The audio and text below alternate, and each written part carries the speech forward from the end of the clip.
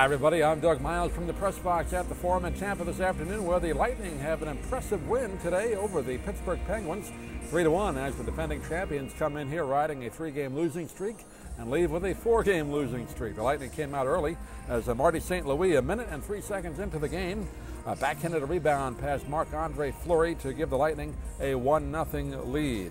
Uh, Bill Guerin tied it up uh, later in the first period with uh, 2 minutes and 45 seconds remaining with his 13th goal of the season. He flipped the backhand past Mike Smith to make it 1 to 1, but after that, Smitty was stone cold as he stopped the Penguins on every shot, 25 saves in all this afternoon for Mike Smith.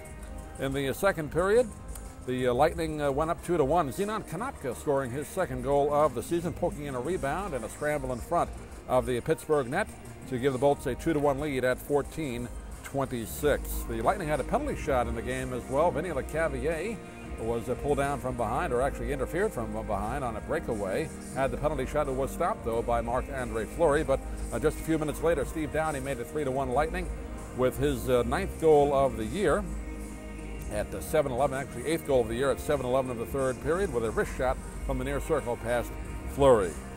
Again, a great performance again by the Lightning defense. Uh, playing very well today. Mike Smith in goal, another strong performance for him as the Lightning come back from a, a, tough loss Wednesday night against Montreal with a big win over the Stanley Cup defending champions today at the Forum in Tampa for a good crowd of over 20,000. The Lightning next game as they hit the road for three in a row right now against the Buffalo Sabres. From Tampa, this is Doug Miles reporting. Thanks for watching.